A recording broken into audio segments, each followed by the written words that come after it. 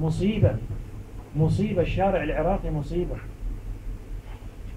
فلذلك هذه الارتباطات دمرت العراق.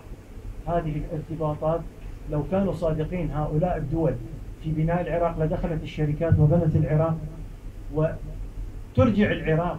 هذا العراق التاريخي الذي يمتد حضارته إلى 5000 6000 سنة من حضارة بابل وأور والحضارة الآشورية والحضارة الكلدانية عدة حضارات أتت إلى العراق حضارات كثيرة أتت إلى العراق ووضعت مسلة حمورابي وفيها قبور الأنبياء عندما فجر داعش قبر النبي يونس